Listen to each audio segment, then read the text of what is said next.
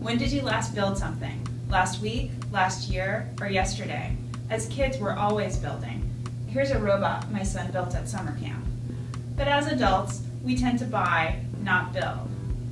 Fortunately, there are so many reasons to do it yourself, and in this issue, we celebrate the spirit of making, doing, and innovating.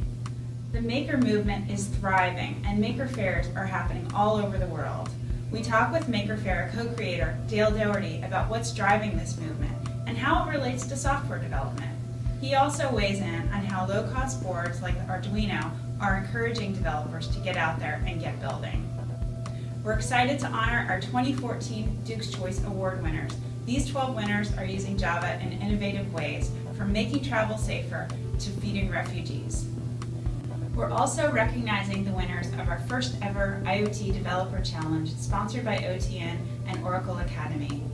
These winners are using embedded Java with computer boards like Raspberry Pi and other IoT technologies to showcase innovation in office design, robotics, greenhouses, and more. I hope this issue inspires you to get out there and get building. Thanks for reading.